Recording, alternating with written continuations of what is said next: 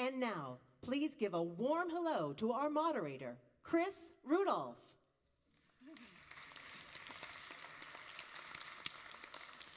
Thank you very much. I'm glad to be here for our panel um, with the title Born Free and Equal. We are here two days after the shooting in Orlando in the gay club uh, Pulse, and I would like us all to have a minute of silence um, to remember the victims.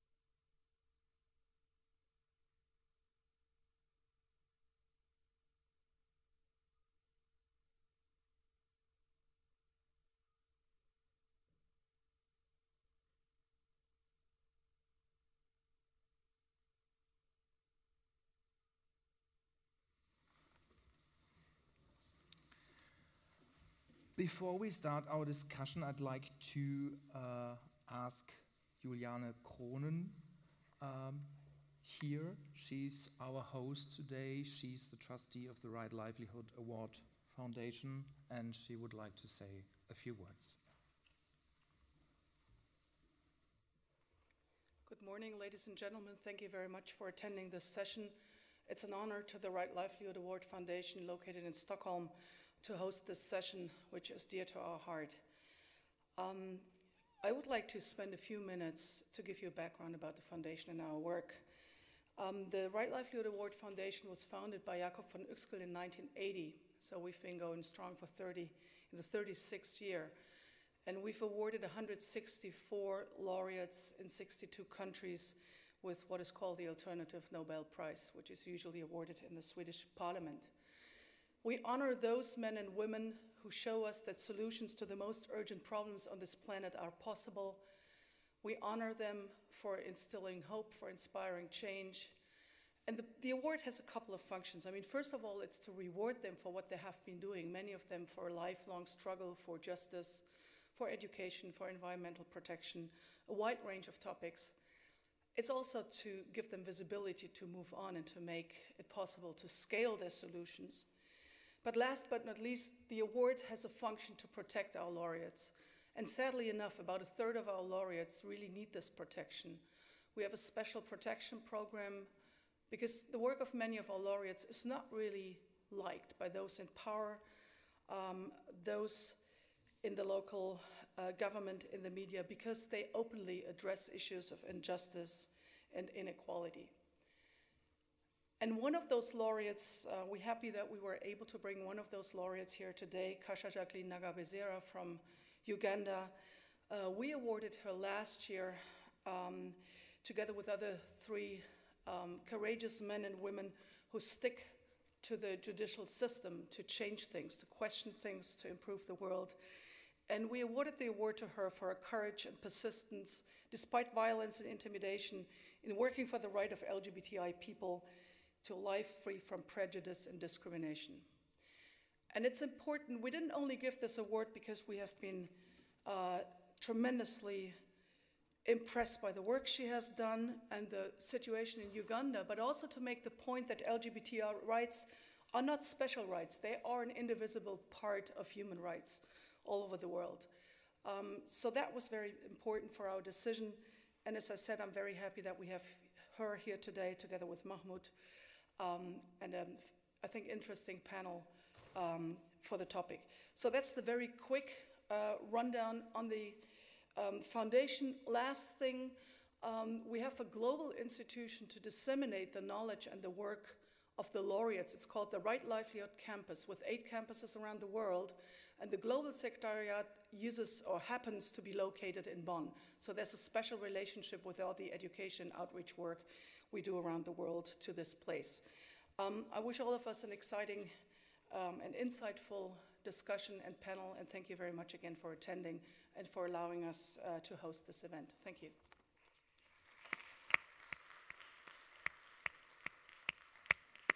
Thank you, Juliane Krohn. To my left, uh, nice to have you here, Claudia Roth. She's the Vice President of the German Bundestag and member of the Green Party. We just heard about you, Kasha Jacqueline Nabagesera from Uganda and Mahmoud Hassino from Syria. Born free and equal question mark is the title of our discussion here today. Um, Claudia, can I ask you, um, after the shooting in Orlando, President Obama found touching words. Uh, so did Hillary Clinton. Um, Chancellor Angela Merkel expressed her sorrow, but she didn't even use the word gay or lesbian or homosexuality. Why do you think is that? I do not understand why she did not find words who would make clear that she shares all the feelings uh, of these people, and these are not only the family, but people all over the world who gays, lesbians, transgender, intersexuals who are also attacked, has been also have been also attacked on Sunday. I think there is a reluctance also, and still in our chancellor. We made a lot of progress in the last years or in the last decades. If I compare the situation in Germany 30 years ago to the situation now, yes, a lot of change. But if you really want to be, once again, credible, it's not enough to have 80% equal rights. Equal rights mean equal rights. And I do not understand why, especially in Germany, we are not the first to guarantee full rights, including, for example, the right uh, to adopt a child, or why we do not anything possible against the hate uh, gays, lesbians, also young gay men, boys mm-hmm. are confronted to with our history. For me, the reason why I'm dealing with this uh, question, equal rights, has to do, first of all, with our historical responsibility. The Nazis killed gays and lesbians in their concentration camps. And it has to do with my personal experience that I grew up in a family with a sister. She uh, is handicapped and she had to face a lot of discrimination. And so in my family, it was quite clear that it's not acceptable, not at all acceptable, that the value of a human being, uh, not, no, that you judge uh, the value of a human being whether it's uh, handicapped or not handicapped. Then I worked and lived a long time together with one of the first open gay musicians in Germany, with Rio. And it Rio was Reiser. Rio Reiser. It was very, very difficult in the 70s also in the beginning 80s, to make clear I'm gay and I'm proud. I want to be myself. I want to live. I want to say, I want to love the man I love. And uh, so I cannot live with any discrimination because uh, this is the this does not uh, respect the Article 1 in our Constitution, which speaks about the dignity, the dignity of human beings. There's not written the dignity of a heterosexual human beings or man or whatever, the dignity of any human being. And therefore, 20, more than 20 years ago, I was a rapporteur in a very important report in the European Parliament. That was the first report, 94, worked out and then voted by seven votes majority on equal rights for gays and lesbians in the European Union. And I really did regret that our chancellor was not more emotional in this question. Our president, he spoke about it, he made some wonderful words uh, uh, after this tragedy, this terrible attack. Uh, you don't have only uh, Obama, you have also Hillary, yes, but you have also Trump. And I was, I cannot understand how such a person can misuse for his own interests, for his own propaganda, for his terrible uh, ideas, uh, the, the, this tragedy of these people, men and women killed. So, so this is something, um, yeah, where we should should uh, stand still for a moment and think, what does it mean uh, as responsibility for the future? And perhaps let me say the last thing. Uh, when I heard the first time from what happened in Orlando, I made one sentence in Facebook uh, to, to express my deep sorrow what happened. The comments are so terrible, are so terrible What are they saying? that my good friends, the Islamists, that are my friends, they are the responsible, kicks them out, and you are the whore of all these Islamistic uh, gangsters. So this was one side, and the other side, only gays. What, what about only gays? So it was a mixture, or it is a mixture, the reaction. It's a mixture of homophobia and of Islamophobia, and both is terrible dangerous. So I'm really still shocked. I do not even open uh, in these uh, days the, the, the, the answers I got in, the, in Facebook. Terrible. Hatred, hate speech, attacking exactly what, what also Trump is doing in saying now he will close the border for, for more Muslims. But there are so many gays and lesbians from Muslim countries, and they are exactly those we have to support and we have to help. And I hope that uh, Merkel will mobilize her heart. There was a discussion on German TV on Sunday night, the famous ARD Brennpunkt, and they were discussing the question whether the attack uh, in the gay club Pulse was terrorism or homophobia.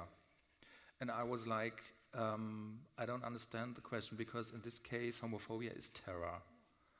What would you say, Mahmoud? Exactly, homophobia is uh, terror. I mean, uh, uh, Syrians now uh, are living, um, gay Syrians and LGBT Syrians are living this terror every day. Uh, we have been, of course, terrorized by the regime before, the Syrian regime before, but uh, now it's escalating into gay killings. Um, it's terror, of course. Every act of violence is terror, uh, whether uh, it's uh, a passion crime or something. It's terror is the ultimate fear that uh, um, a perpetrator can inflict in, on other people. And terror is the reason, or this special kind of terror in Syria is the reason why you fled to Berlin, where you live now. No, actually, I fled because of the Syrian regime. I uh, was uh, politically active and outspoken uh, during the first days of the Syrian uh, uprising. And uh, I fled Syria before the current wave of terror arrived to Syria because we were, like I said, terrorized by the Syrian regime. In what ways? Well, I mean, it's a totalitarian state, it's a dictatorship. We were always hunted down for, we, we, had, we had no freedom of speech. And uh, this is the basic thing to, uh, for, you, for anybody who wants to uh, ask for rights or call for rights or advocate for rights. Freedom of speech is the most important pillar of this fight. Sorry. So, uh, uh, as a gay person, I was a blogger for years before the revolution in Syria. And uh, when it started, I got involved in covering the demonstrations, the nonviolent demonstrations in the country uh, as a journalist. So, uh, at a certain point, uh, there were some threats because of homophobic campaigns uh, that were run by the Syrian regime uh, on public media. So I thought, like, you know, a gay blogger who's a journalist and anti-regime, I should leave because I don't want to die under torture, uh, which, is, which, uh, which is unfortunately something that happened to a lot of my friends. You're the editor of a queer online maga magazine. It's called Mawale. What does Yeah. that mean? Mawalih is nuts, the actual nuts. okay. yeah, but uh, but in Syria, it's um, uh, uh, Mawalih itself as a word is used a lot because it always happens that you have some tea with nuts, some uh, uh, arak with nuts, so it's always there. So it was just like, you know, to break the taboo, that just to connect a very used word with homosexuality. So this is why I chose that name. And we're funny anyway, and we're light. so. and your readers are from Syria only, or from, uh, or your readers are Syrian people who fled the country Who uh, of course, most of our readers are Syrians, but uh, we have other readers from other Arab countries. We try to issue some English issues as well. Uh, the problem is that after the situation in Syria deteriorated, we uh, most of my uh, most of the contributors had to flee, and they are still living in unstable situations somehow. So we are not able to produce the magazine as frequently as uh, we used to do before. Mm -hmm. But you're producing it from from from uh, from abroad, from Berlin. Yeah, from Berlin. I was uh, at the beginning. It was from Turkey when I was living there, and uh, but uh, most of the contributors were still in Syria back then. Mm-hmm. it was just easier that I'd be the actual target. Like I'm the out person. I'm out of Syria, so it's easier to direct the attention to me, to in order to protect them. But uh, eventually they had to flee, and uh, yeah, we had to minimize our efforts a little bit because uh, we cannot produce it as frequently as we did because we used to produce it monthly, actually. Most of our readers prefer this PDF ready to print mm -hmm. uh, version, and they always ask for it. So, and like you know, producing it is uh, takes a lot of effort, especially that uh, we're not funded, we're just volunteers doing this uh, job. Mm-hmm. Kasha, you're the editor of Bombastic and uh, uh, an LGBTI magazine uh, which you can find online. You have a printed edition and you also do TV. And you prepared something which we want to watch before we speak about your work privilege to share the joy of our 18-month journey with the rest of the world as the first ever and only LGBTI media platform in Uganda. Due to the rampant media outings by Ugandan tabloids exposing identities of the Ugandan LGBTI community members, many faced hardships ranging from job terminations, unlawful evictions, some being disowned by their families, public attacks, and many more. Through these rampant media attacks on the LGBTI community members, the community was left with no solution rather than the birth of Kuchu Times to address such challenges. And through our 18 month journey, we have tried our level best to provide the community members with the most reliable platform for them to express themselves through documentation, of their lives, story sharing, and many more. Bombastic Magazine, a product of Kuchu Times, is compiled of real life testimonies of Ugandan LGBTI people sharing their realities with the rest of the world. All this is aimed at creating attitude change.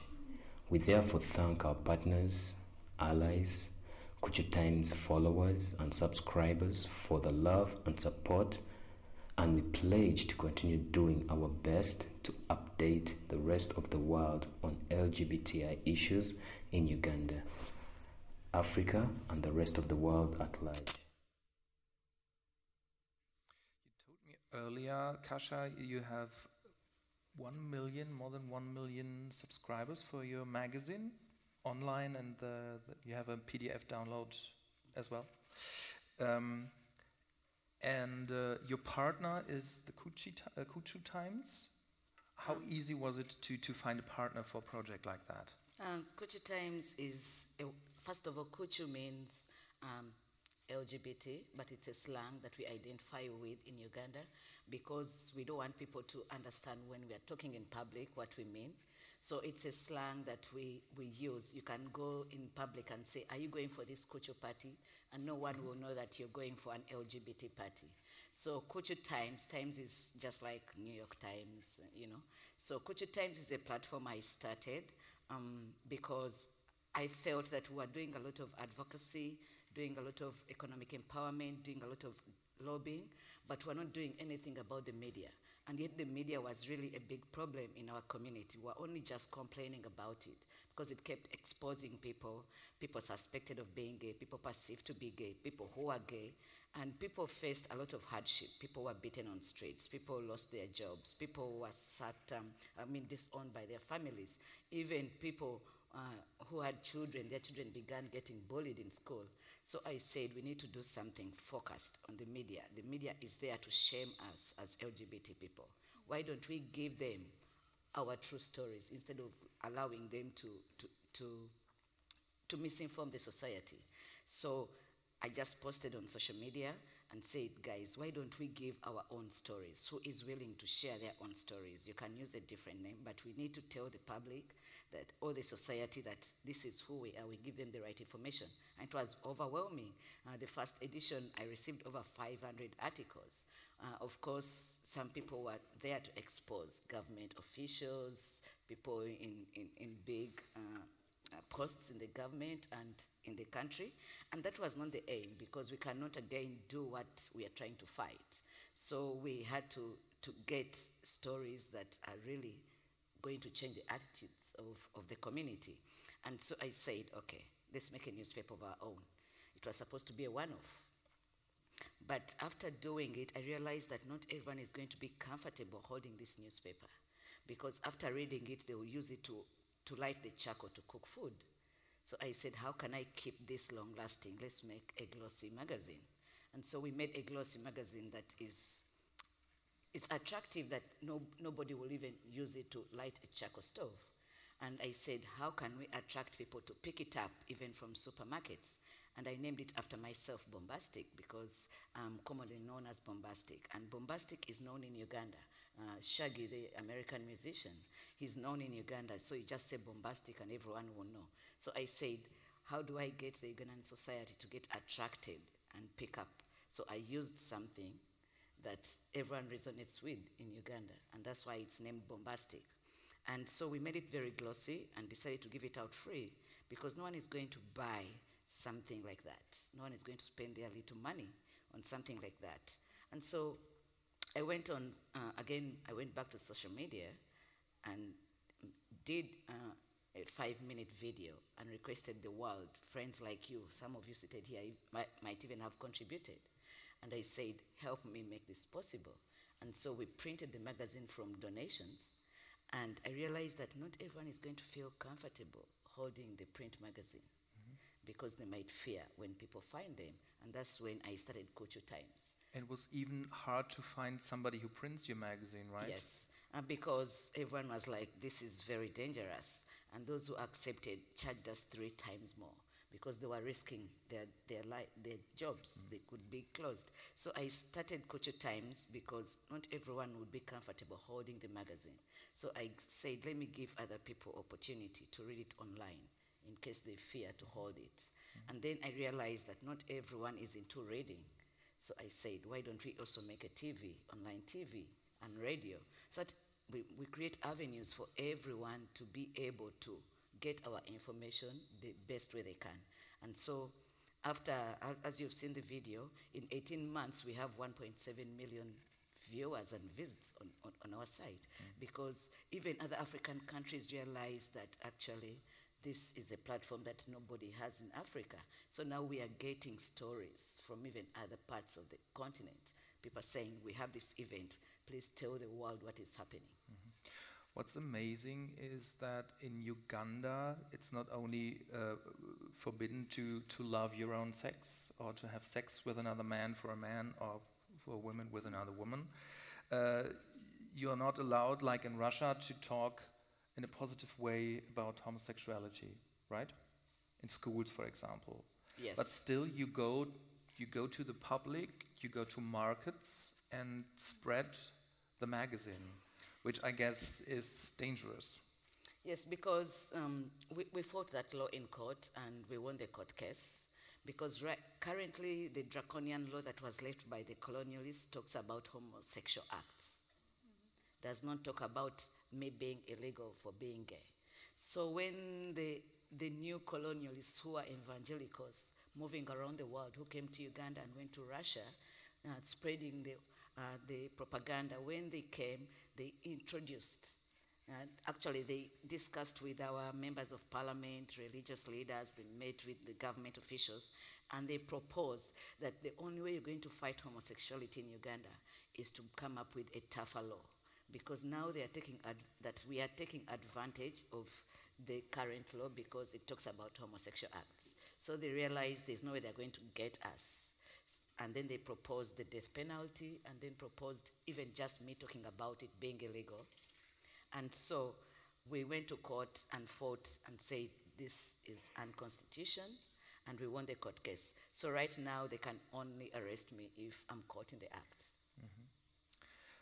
Five years ago, a friend of yours and another activist, David Kato, was killed. LGBTI activist. How dangerous is, is your life in Uganda? Can you, can you walk the streets alone? Uh, I'm in self-exile when I'm in Uganda to keep safe. So that's why when, like, I'm, I'm in Europe, I walk a lot. My body gets shocked because it's not used to that kind of walking. Because I don't walk on the streets of Kampala because in the past I've been beaten. I don't use public transport, and so David's death was a shock to the community. We knew what we were doing was dangerous, but it, it was a wake up call for all of us to realize that things can actually happen this way. And so it led to so many people to flee the country. Right now, we have over 500 LGBT refugees in, in Nairobi. I managed to meet about 30, uh, 300 of them uh, last, last August. A few have been resettled in the West, but it, it scared the community, but at the same time, it brought the community together because people realized we cannot leave a few people like Kasha to do this work. We have to join hands with them. And others were pushed back in the closet because of what happened. Uh, but also, it made us stronger as a community that for us to really win this fight, we have to be united. So in Uganda, there's still a community. Mahmoud, what would you say? Is there still a gay or LGBTI community in Syria? Mm, I would say so. I would say so, but, but I mean, it's not as strong as it was in 2008. But still, I mean, uh, there are. And uh, when uh, they are fleeing the country, when LGBT people fleeing the country, they are trying to form communities here and there. There, are, there, there is a big uh, LGBT community, Syrian LGBT and Arab actually LGBT community in Turkey. Uh, unfortunately, the situation in Turkey is horrible tho- those days, even for uh, for LGBT Turks. Uh, it's becoming uh, unbelievable, and uh, of course, for refugees who are actually not acknowledged with a legal status in the country, uh, it's even more difficult, especially to access services, health services, uh, normal testings, and other things. So. But I would say there is still somehow uh, a Syrian LGBT community, although it's divided into different countries now. Do you ever go back to Syria? Well, I mean, I cannot go with the current situation. Um, uh, uh, because of the magazine, I was uh, I was uh, threatened to be uh, kidnapped and killed because of, uh, of by Islamists in northern uh, Syria. It was uh, when I was living in South Turkey. Uh, unfortunately, they're pretty active in uh, South Turkey those days, and uh, of course, I cannot go to regime-controlled areas because I'm wanted by the regime. So, I mean, for me, it's an impossible thing to think about in the current situation. Kasha, you told me earlier that there are even in Uganda there are even uh, government officials who read your magazine. Yes, um, uh, the first edition, of course, uh, because it was the first time we're doing it, it was a test for all of us. And so some of my volunteers were, uh, were arrested.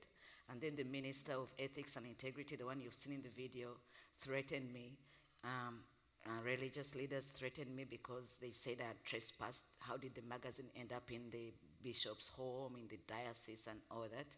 Uh, but I know the law. I know how to play with the law. Uh, and even before I, I print the magazine, we, I go to our lawyers and ask them, can this get me in trouble? Uh, and if the moment they say it cannot, I go ahead. And so I went with the lawyers. And so we went to the president's office, I went to parliament, uh, we went to police, and they even requested for more copies. I went to the Minister of Justice, Minister of Health. And so we, we don't run away from from the opposition. We actually go towards the opposition because that's the only way we can dialogue with them, the only way we can change their attitudes.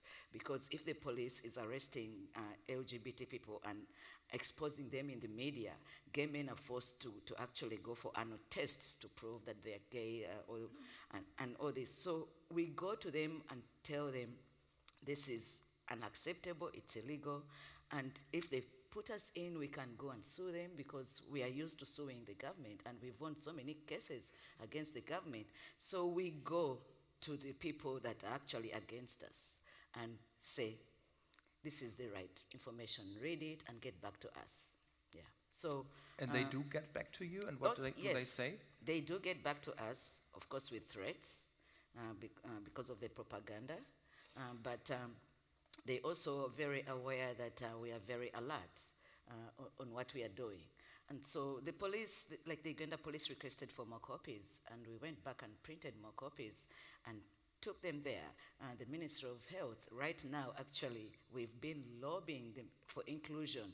We said even if you don't accept that we do exist, at least you, you, you believe that we have the right to health because many of us are hidden into marriages in the society. So if you do not protect us, we are actually spreading whatever, uh, whatever diseases. So to protect the society, you have to protect us first. And actually, they listen to us. And right now, we are included in national health policies. Not all of them, but at least the dialogue is there. So you'd say there's some progress? Oh yes, there is progress. Uh, it doesn't mean that everything is, is, is okay, but at least there is progress because the dialogue is there and, uh, and even just being able to talk to police and not get arrested anymore is mm. good. But when they arrest our people, we have to go back. It, it's a long struggle to get them out. Uh, people getting evicted because society, state actors are different from non-state actors. So with the state actors, we are progressing. Non-state actors, these are our neighbors in the villages who are burning people's houses down, who are beating people, who are raping people. So it's difficult with the non-state actors because these are ordinary people that are actually causing this. But with the state actors, we are really making some good progress. Mm -hmm. Mahmoud, what would you say about progress? Is there any progress in sight in Syria? Well, unfortunately, I mean, as uh, someone who's a little bit older than the, most of the refugees now, I have lived in a Syria that I didn't feel like, you know, homophobia was a problem by the people uh, themselves. Unfortunately, the war changed the situation. Uh, people are getting more homophobic, and it's because of the war and violence, and uh, the war changes people, the war brings the worst out of people. And uh, I don't know. I mean, if uh, the war doesn't stop, there is no kind of progress for anything. I mean, if, uh, if you don't have the right to express your opinion, with, uh, no matter whatever uh, your opinion you, um, you, might have, it's, uh, there is no progress uh, to be done in the country anyway. There's a, a, a refuge in Berlin for LGBTI refugees. It opened in, I think, February roughly 120 people live there and you work there. You meet people from all over the world who, basically the, the Arabic countries, I guess. Uh, what stories do these people tell who come there, who live there? Uh, well, actually, most of, uh, at least most of the Syrian uh, residents in the, in the shelter are uh, coming from uh, areas where, like, most of them at least came from areas where the regime existed. Uh, because they managed to find their way out. It's at least like, you know, no matter how dysfunctional it is, it is still a state. And uh, the problem is, uh, yeah, I mean, the stories were also horrible about like different kind of violations that happened to them that were systematic by the Syrian authorities. Uh, we have some people who fled actually uh, some ISIS controlled areas, but unfortunately, most of them they haven't arrived into Europe anyway. They're still in Turkey. Uh,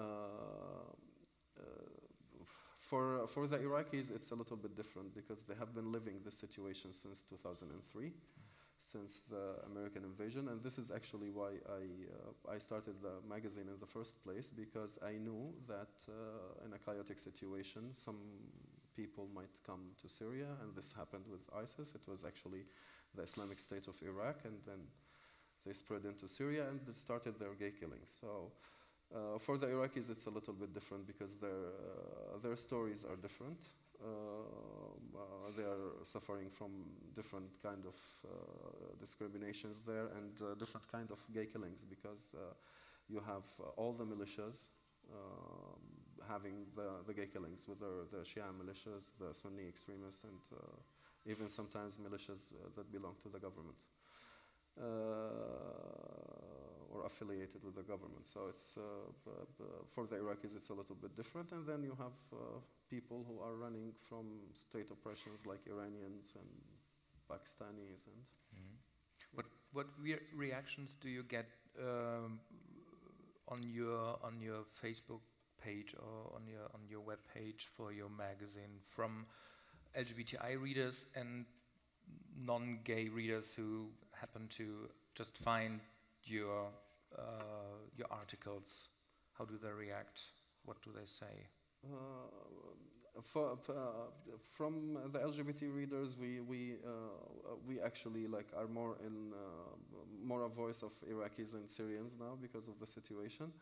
Uh, we would we we're always asked for new issues of the magazine.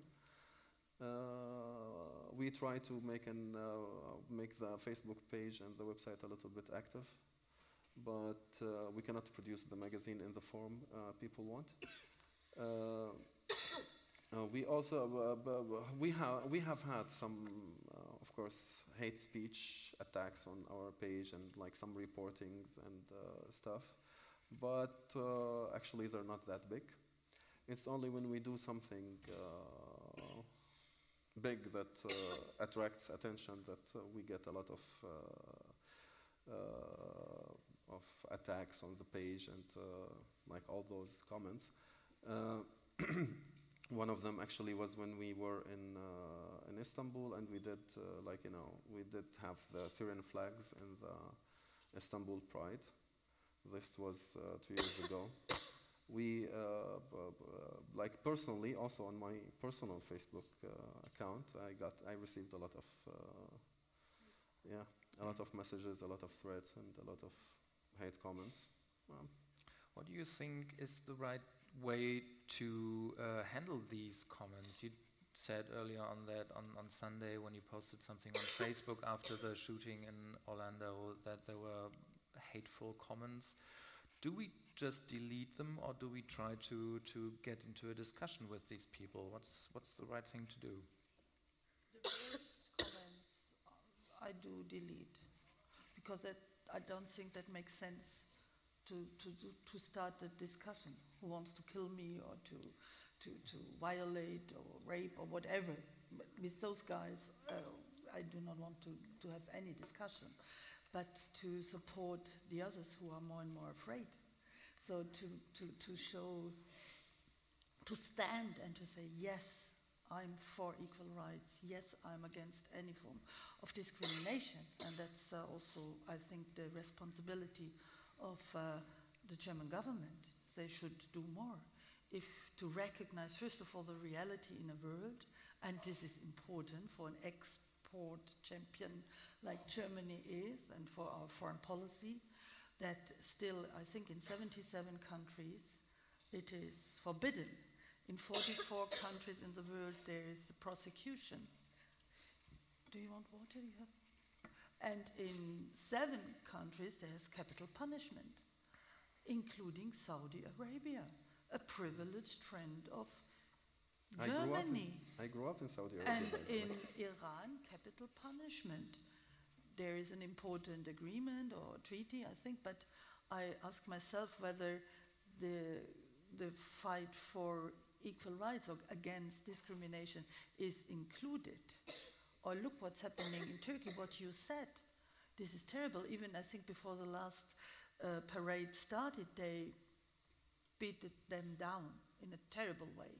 And I know friends from uh, um, in, in Istanbul who are under really terrible threat. Is it included in this famous EU Turkey agreement? Does anybody speak about it? Uh, we just spoke in the morning about this, but this is my criticism that I think there, Germany especially, but also the whole European Union makes a deal, and the present Erdogan gets is silence. What's happening in Turkey? Or now, in, even in these days, it's very important what is happening on Friday in the second chamber of our uh, of Germany, the second chamber bringing together the states. Do they really vote the idea to define Algeria, Morocco, Tunisia as a safe country? If this would happen, I think we would betray the gays and lesbians there because of course they are not safe i think only a few days or weeks ago six gay in tunisia were put to court and were, were prosecuted so i think that the credibility and the responsibility is to make clear that discrimination based on sexual identity of a person is not up to a religion to declare this is in our rules or up to a state to say, okay, we can do it, and to criticize it is not intervention in internal affairs. I really hate this. Do mm. not intervene, it's our internal. No, it's not internal. And it was, I remember when I was Human Rights Commissioner 2003, we took as German government uh, the resolution from Brazil, and they wanted for the first time to introduce in the framework, in the international framework of human rights, also discrimination based on sexual identity. And this was very, very difficult already in the European Union because there, in these times, there was still a conservative government in Spain. They were against. Poland, of course, uh, as this time an observer was totally against. What we're now facing in Poland is not very positive, not very optimistic. And then there was a meeting, and then there was a new coalition against this fact that we say this has to be put into human rights, which are universal for everybody. Then there was the coalition of the, the representative of the Organization of the Islamic States, the Vatican, and the White House. They three, they were the most uh, important uh, fighters against this. It was in times of Bush. So, recognition of the fact that this is a discrimination and a human rights violation, and uh, mentioning it, putting pressure on, uh, on, on those countries, states who are still doing it, and supporting the, communi- the communities and not to betray them. Because it's what is true, we fa- I think we face two different developments. On one side, there's more visibility, I think really more visibility than ever in many parts of the world. But on the other side, we have what you described. We have these religious groups, we have these um, Erdogan and, and Putin, good brothers in this uh, field. And, uh, and I think it's shameful really to try to make it as something not so important in if you can have a, a, a definition which makes it easier to send back refugees to these countries. You just mentioned uh, the vote on uh, Friday. Your party, the Green Party, is part of several state governments. Uh, how are they gonna vote? Yeah. Uh, I do hope. I, I, I, I also think we would lose, the Green Party would lose credibility. Um, there are, I, I do hope that there will not be the majority. It could be if all the Greens would insist not to um, not to support this idea of redefinition of reality, then it would not pass through.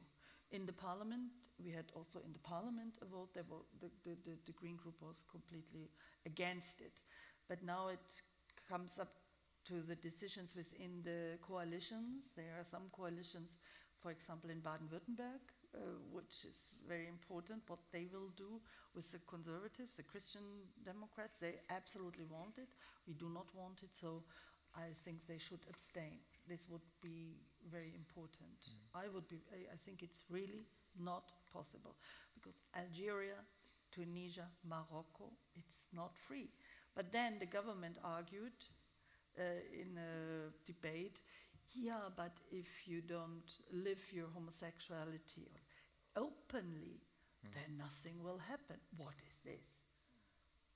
If you do it uh, secretly, if you live secretly, if you perhaps uh, uh, show a different, uh, if you if, perhaps if you marry, it would even be it would e- even be easier. Cover it, then nothing will happen. This is really not acceptable. And that's, sorry. Sure. And that's the hypocrisy I see from our Western partners. When we are back home, they write our governments with conditions of aid, first of all, to protect LGBT people. They write to us, you know, with support. But when our people come to the West to seek asylum, to seek refuge, to look for peace, they are again sent back in a place that they already know is persecuting them. So they're giving us with one hand and taking away the other hand. And then you wonder, honestly, is this, are these friends? You're already attacking, first of all, they, sometimes they attack our governments without even us activists knowing on the ground. Uh, and this is an example I can give from the Canadian uh, Foreign Ministry, who attacked our Speaker of Parliament after we had called for a, a silent diplomacy strategy. And he went out in a, in a parliamentary gathering and attacked our Speaker of Parliament in public. Of course, she felt humiliated, and we got the backlash as a community back home. And as soon as she came, she was welcomed on a hero's welcome, and she promised to pass the anti gay bill as a Christmas present. And indeed, the bill passed. And this is the bill that was calling for the hanging. So there is an issue of people not respecting us or people thinking that they know our situation better than us, but also our partners have, had, uh, have been so hypocr- hypocritical. They know that we are being persecuted, but when our people come here, they are again subjected to inhuman, degrading treatment. Go back home and live a quiet life. You don't have to show that you're gay. So they are pushing our people back in the closet to suffocate. Claudia mentioned uh, the Vatican and religious groups. I guess you don't uh, give out your magazine at, at the church. We do because uh, I've been called by the one bishop, from, for example, from the west of Uganda, and he was threatening to sue me for trespass because how did my magazine end up his, in his diocese? And we go everywhere for as long as we know that people are willing to go and distribute the magazine because we call for volunteers. Um, this time we had about 200 volunteers who went out and distributed the magazine around the whole country, went even to the islands, and people kept calling. Uh, we received really positive, uh, positive feedback from the society. People saying, I didn't even know the word transgender exists. My son could be transgender, my daughter could be transgender. And of course, we received a lot of hate responses. People threatening to ban me. People made cartoons on social media how i'm going to die with drugs on top of me and all that. So we receive um, both both um, responses but we go to every place that we can access.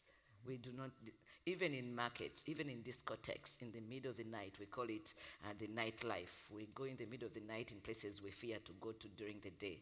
And then we put the magazines there under the doors. So they wake up in the morning and the magazine is there. And of course the media will start. Homosexuals are recruiting. They're going door to door but they're promoting us.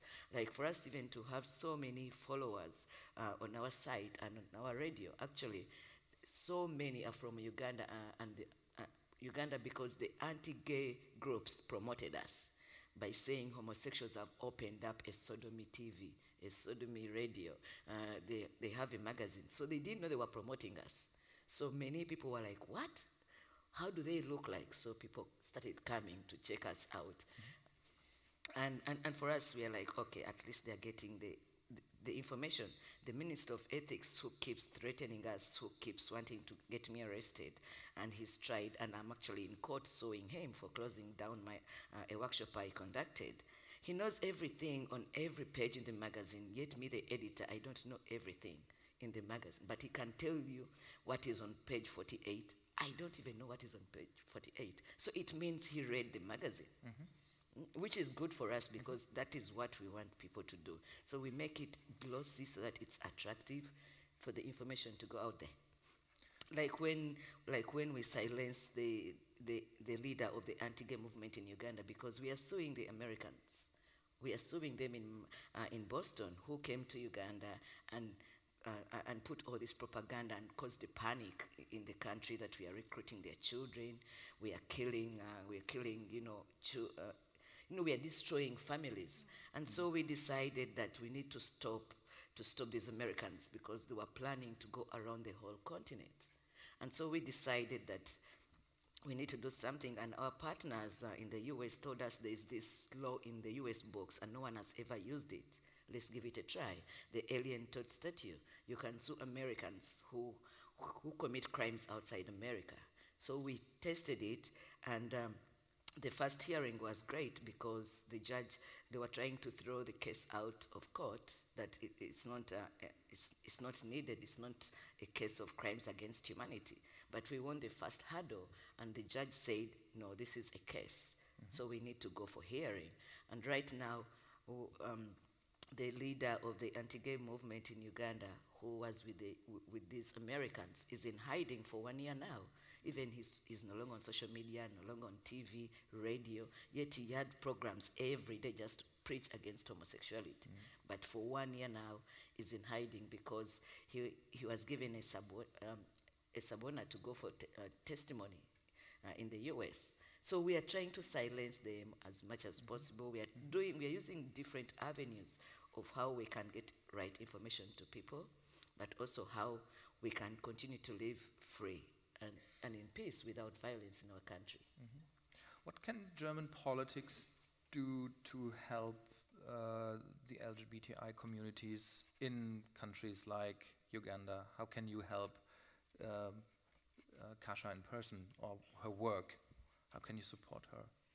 Yeah, first of all, uh, in all the treaties, not to forget this aspect, not to undermine or marginalize it in all the treaties also in the question of uh, development aid or cooperation. Uh, I think it's better to say, okay, not to say, okay, we do block all means or all support, but to say who we could support. So civic society, Democrats, and also what you said, your community. It's easy to attack the, the, government and then to go out and do nothing, and, but it's better to support those who are victims of this politics and those who are the supporters of uh, civic society. But sometimes it's very difficult. I was, there was a big uh, conference in the, of the International Parliamentarian Union bringing together representatives of all parliaments uh, of the world, and we had, a, we had the conference in Zambia. And uh, our ambassador, he organized a meeting with um, representatives of Zambia, also of the churches, and there's far away from recognition and from equal rights. So sometimes we need also ideas how, what is a very good support. I think, for example, I'm so happy that you got the alternative Nobel Prize, but because I can imagine this is also a kind of a protection. You are now public, everybody knows you, uh, and uh, to, to try to protect people and like you and to make clear that you are kind of heroes. For, for us, it's not so really dangerous compared to you. But for example, it's crazy. We could do so much more, or our big, big, big, uh, for example, one association, the Football Association. We have now uh, the European Championship isn't it crazy that in the world oh, there is no gay man active as a football star. Is it, isn't it crazy that in Germany, for example, a very important, very famous uh, man, very successful football um, man in the football field, he only said he had his coming out after his career. Why the hell isn't it? Could this not be also a, a very important moment to make clear? Yes, it's not important whether you are gay or uh, uh, hetero if you play good football. It's impossible. I spoke with the president, former president of uh, uh St. Pauli. Uh, um, he's quite famous as one of the most most famous gay men in, in, in, in Germany. And I said to him, why the hell you do not help your youngsters in, in the club to, to say open, we are proud to be out. And he said, Corny Littmann, he said, no, Claudia, that's important. They would be killed by the fans of other right-wing groups uh, in Cottbus or Dresden or wherever. So I think it's high time to take the responsibility and to make clear it's completely normal that also gays are football stars. We have, by the way, the other way around in the female uh, uh, women's national team. Um, it is very, very difficult to be accepted as a heterosexual woman playing football. No, I really, I know them quite well, and they said it's almost impossible because automatically, if you play football as a woman, you are lesbian if you're a man, of course you are not gay. So this is something we really we have we could do more because football is so popular in our country and I'm convinced if there would be more courage in the presidency of these football associations there we could do more for those who are victims of homophobia. When you when you listen to arguments like why isn't there another openly gay football player, and when you, you live in Germany now, and when you uh, hear about discussions uh, when to um, legalize gay marriage, um. Is this for you sometimes coming from a country where you can put to death, stoned to death? Isn't it sometimes, doesn't it sound a little absurd because it's so far from your problems, your situations? I mean, you're right. I'm not saying you're not right. It's just completely different. For us, born free and equal is another discussion than it is for you in Syria or in Uganda. Well, I don't uh, think it's absurd. Actually, I uh, I would uh, campaign with uh, with my German fellows to, to to achieve those rights. I live in this country now, so I I think of myself as part of it somehow. Uh, of course, I mean, I have a different uh, struggle with, with the LGBT Syrian issues, but it doesn't mean uh, uh, that uh, I can actually say that this is important now or not. I, I think every achievement anywhere is like, regarding LGBT rights is important, no matter where, like Germany, uh, the United States. The United States has to come a very long way because of their regulations now. But still, I mean, uh, those things. And uh, of course, I, I feel like it's, it's an inspiration as well. To may I, may I, may I sure. To you, okay, we are free and we are in a democracy, but not everywhere is Köln, Cologne, or Hamburg, or Berlin.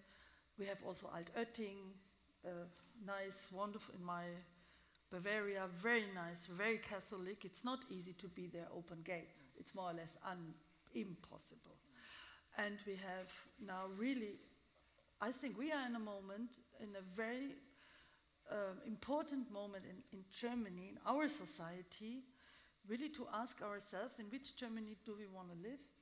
Do we want to live in a, a in a Germany which is colorful, where diversity is something which makes us, which makes us rich, having a party who is openly against equal rights, who tries, who said we have to, to prosecute gays and lesbians, having a party, so-called alternative uh, for Germany, having a party where one of the group leaders in uh, Thüringen uh, made a public, in a, in a speech in the parliament, that I want to have a list of all gays and lesbians in this state. And then I remember what the Nazis did. So, okay, we are different compared to others, but we should be very, very careful what we reached in our country, which, by the way, is not 100%, even not 100%, and only if you have 100%, we have an institutional basis against homophobia. Um, it's very fragile. It's very fragile. If you look what's happening in the European countries with the extreme right-wing parties, this is uh, racism is always linked with homophobia, and therefore we should be careful and not think, oh, everything is okay. No, no, not everything is okay. That's right, and I think it's especially because of the party you just mentioned, the Alternative for uh, für Deutschland AfD. Uh, that's, I guess, the reason why our Chancellor Angela Merkel doesn't find uh, the right, compassionate words to say on a day like Sunday when uh, 49 gay people or people were killed in a gay club. We don't know whether all of them were gay, but that doesn't matter. Um, she she doesn't want to. Um, she has to be careful, or she wants to be careful not to lose their conservative voters to the AfD. But is a, a, shooting in a gay club uh, such a tragic incident the right time to you know, to, to be careful, to use your words very carefully and not say the right thing. I'm not sure whether this is really the fact now linked to the AfD, not to lose uh, the, the right-wing p- parts of their own of her own party, but she was always very reluctant. I never understood it. She was always very reluctant. She's really against gay marriage uh, as on the same level or on the same recognized as uh, the heterosexual uh, uh, uh, marriage. She's really against adoption, and we had it in, in, in uh, when, we, when we spoke about a possible coalition. It was one of the clear points where she's against. She has ein Bauchgefühl. I don't know. She said uh, ein Bauchgefühl. I don't know how to describe it. And I don't know why, but um, why it is like it is. But uh, now, finally, now she should make clear, also the Christian Social Union in Bavaria should make clear, because we have to fight the so-called alternative party, which is right-wing, but absolutely right ex- extremists. Uh, we have to make clear equal rights, and not to say, okay, perhaps only a little bit, and not in.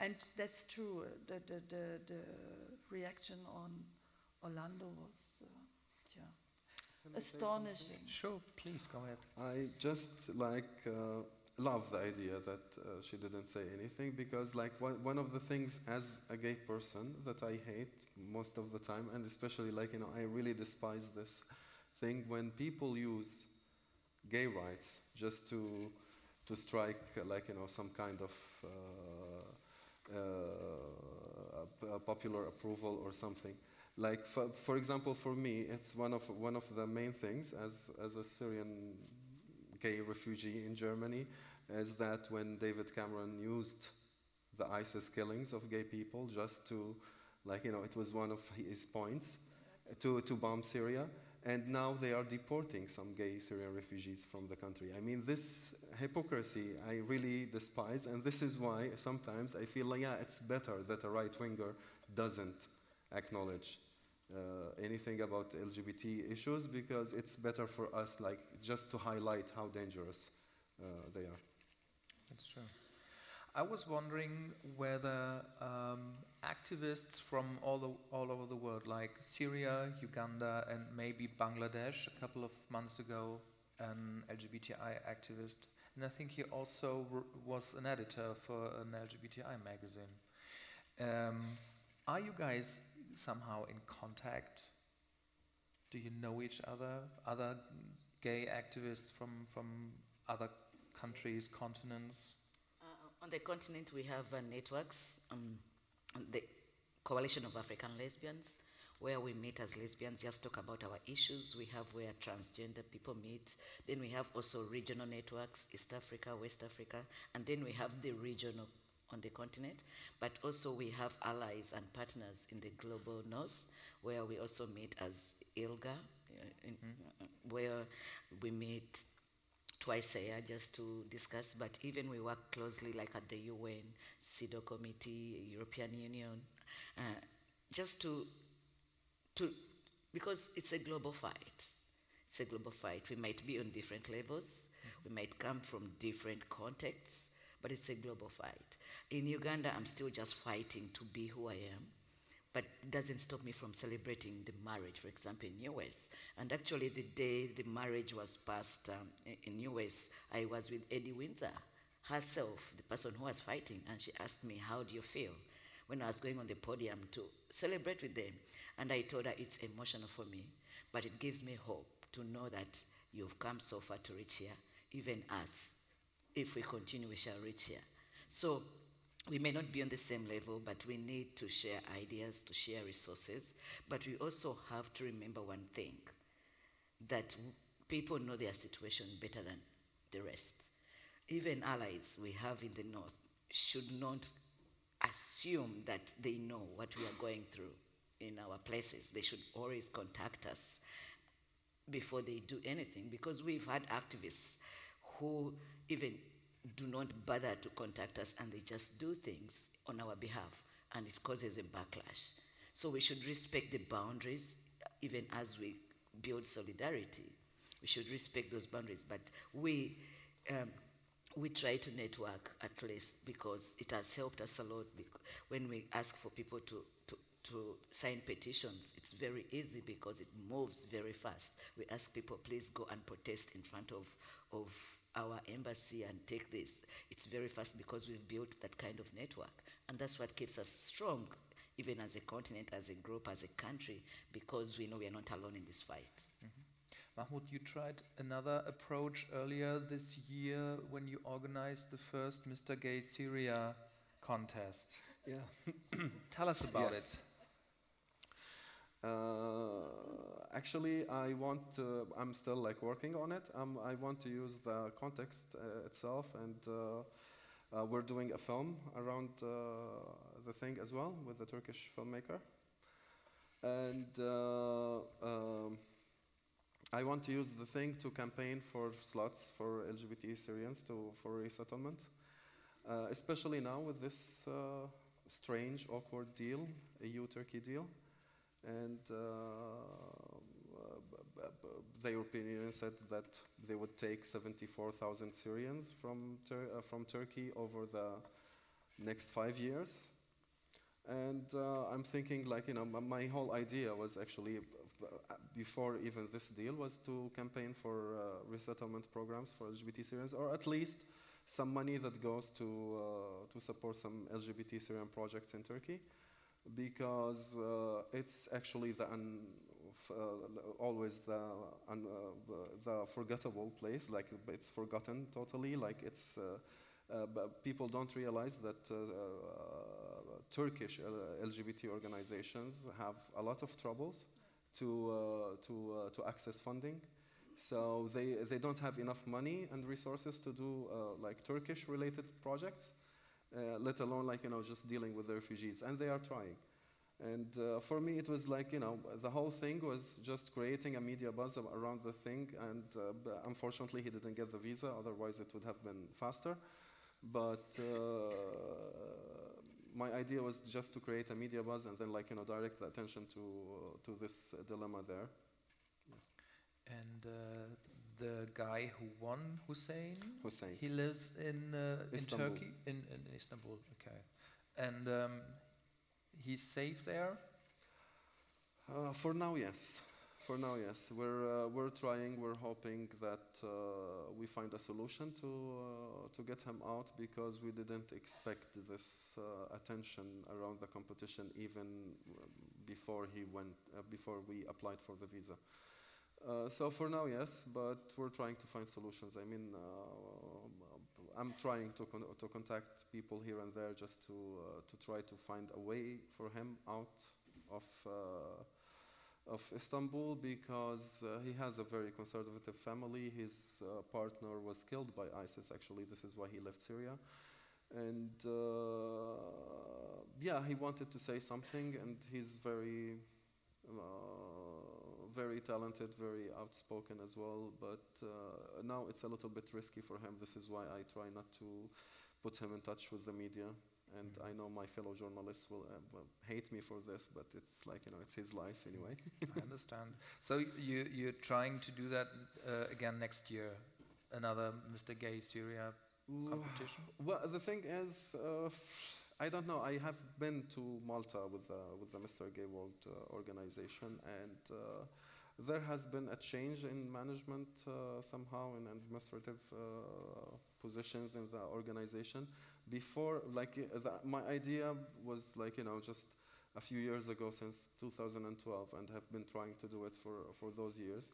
When Hussein didn't get the visa, I went to Malta and checked out the things and most of my contacts have left the organization. It was, it was at a certain point uh, uh, meant to be an activism uh, thing in a different way, and I really like the idea because it creates different kind of attention. But for me now, I feel like you know the organization itself is making it into like you know this beauty pageant, and I'm not into that at mm. least. Like, you know, I will not have somebody who will go on stage and say, I want world peace. We all want it, but mm. we will not mm. compete for it. I would like to go back to um, social media, to the topic of social media and the, um, the, the, often very hateful comments we find there. Um, I found a couple of uh, commentaries uh, about the shooting uh, in Orlando on Twitter. Uh, a guy called Jonathan Howell said, I'm so happy someone decided to start shooting perverts instead of innocent people. Another guy called Shahzad Amath said homosexuality is condemned by God, so that's why he let that happen. Um, I can only say for our magazine Männer, for uh, what we do on Facebook, is that um, oftentimes we don't have the manpower to comment on everything that is said or written there.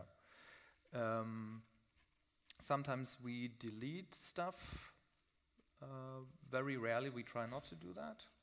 Um, sometimes we try to discuss, but when you start a discussion, sometimes it takes a day because you always get the same arguments back and you don't really get to, to a point. Um, but still, there is um, freedom of speech, um, and it's sometimes hard to say where does it start, where where does it, where do we call it, at which point do we call it hate speech or hate commentary, and at which part do we not? I would say when somebody says homosexuality is condemned by God, so that's why he let that happen. This is not my opinion, but if it's his opinion, I would try to discuss with him, but I wouldn't delete it. How, how are you dealing with these kinds of, of comments? Well, actually, uh, what we did uh, since uh, you know the act was done by uh, a Muslim, we tried to monitor the Arabic uh, media things like or Twitter or social media stuff. And we had some people also saying the same things, like uh, 50 or whatever fags were killed in Orlando, like this, like those things. Uh, uh, the thing is, uh, you have a lot of uh, Muslims who are suffering because of ISIS and because of the Islamophobia in the West. And it's, it's good always to use those things to tell them that uh, this is not acceptable, like people uh, would do this, people like, you know, you've just created a debate. Of course, you get a lot of things, but you try to engage in a productive one. Like, this is what we try to do. Like, I mean, all those haters, we try to ignore them most of the time. And once somebody, like, you know, you find somebody who's interested in actually in finding some kind of information, you just engage in that uh, thing, and uh, even if it's one thread in out of many, it's better to reach, like you know, a point with somebody who might actually start supporting and sharing your work and stuff. So Mm. this is how we do it. How are you do you dealing with it, Kasha? I choose the battles. Sometimes, if I have energy, I engage them. Sometimes, I do it to provoke a debate myself. Uh, and other times, I just ignore because it gets too much.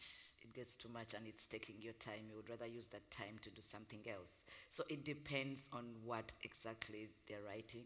Like since the since the shooting, people are actually targeting me on social media, even on my Twitter account, and these are tabloids.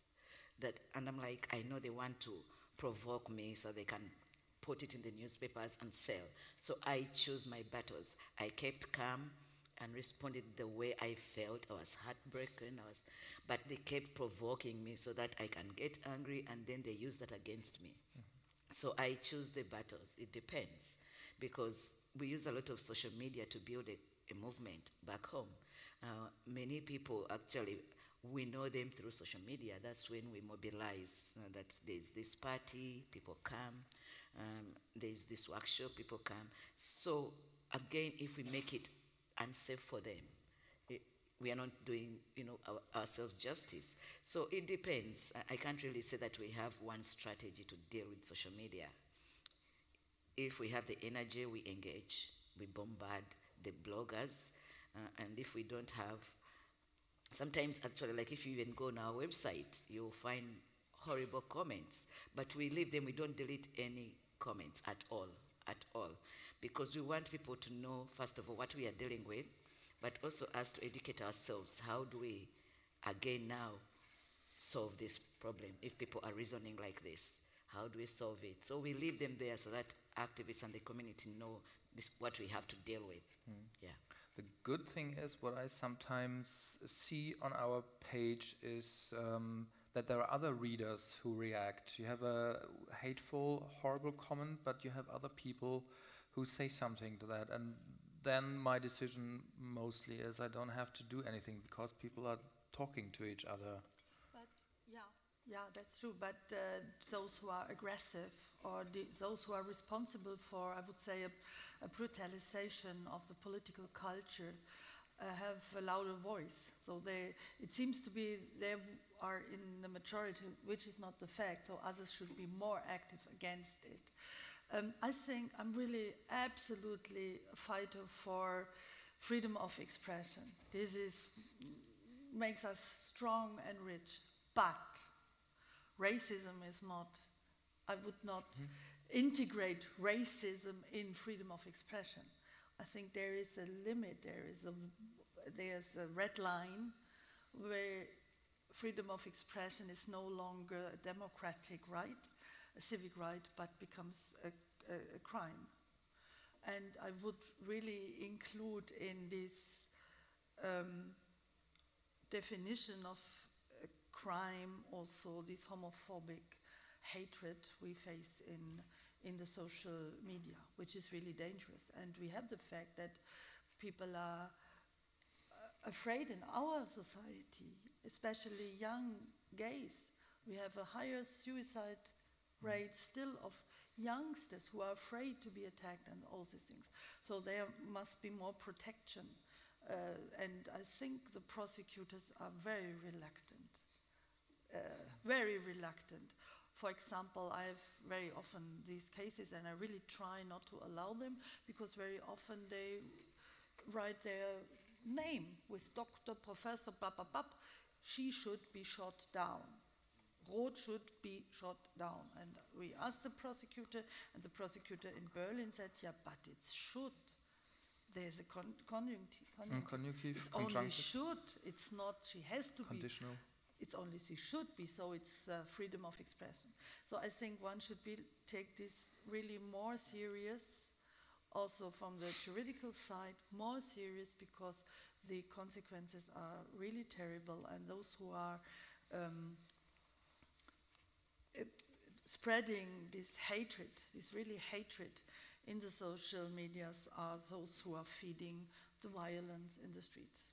Like my account, my Facebook account keeps disappearing. And peop- actually, yesterday someone was saying, You spent a whole week without being on Facebook. What happened? And I'm like, Because people keep reporting my account.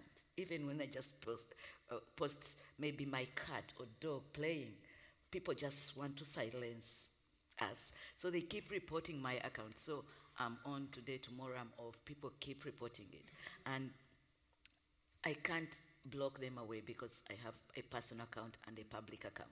So they will use any means. If I'm, I disappear from here, they will go to Twitter and open up accounts just to attack me.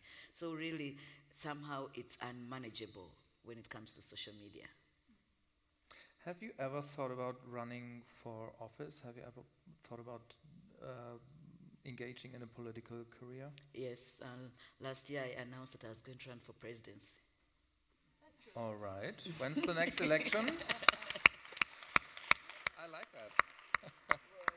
The elections ended now, but uh, l- I announced last year that I was going to run for presidency.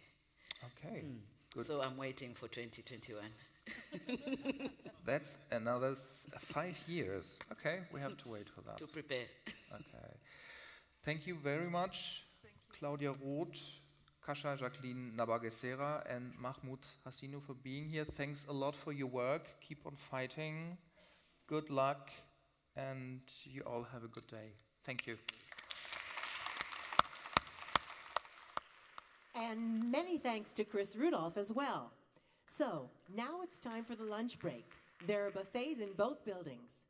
And if you want to speak with the speakers and learn from the experts, stop by the interactive corner during the break to chat with Deutsche Welle US correspondent Ines Pohl and Al Jazeera reporter Abdullah Elshamy. Have a great lunch.